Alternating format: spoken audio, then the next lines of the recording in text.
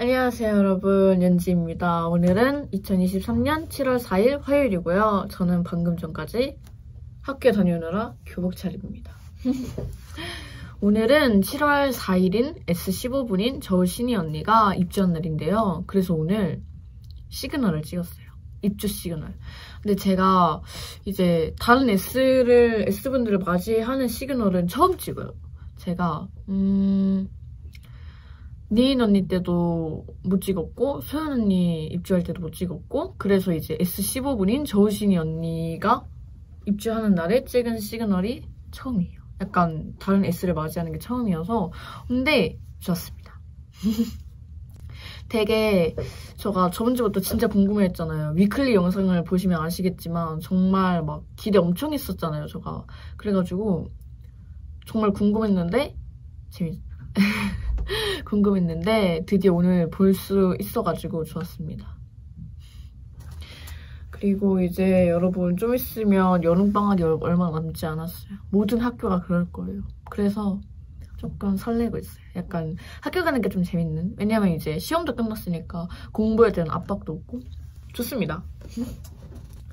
그리고 이제 아, 근데 약간 러블루션 이제 연습하고 그렇게 준비하는 거 보면 빨리 저도 에볼루션인 저도 빨리 준비하고 연습하고 싶어요. 약간 상상이 안 돼요. 제가 무대에 서 있는 게. 그렇지 않나요? 약간 생각조차 할 수 없는 그리고 이제 저희가 새로운 하우스에 입주를 했잖아요.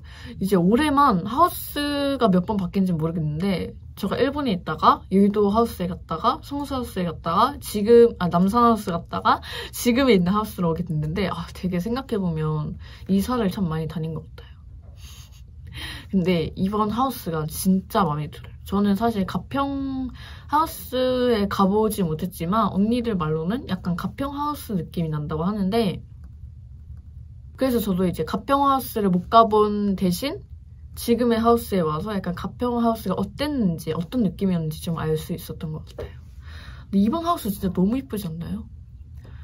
이제 세 개의 집이 있는데 진짜 너무 이뻐요. 그 하나하나 방마다 그 집마다 약간 좀 다른 분위기가 있는 것 같아요. 약간 네. 다른 분위기가 있는 것 같은데 저는 마음에 듭니다. 네. 그리고 룸메도 바뀌었잖아요.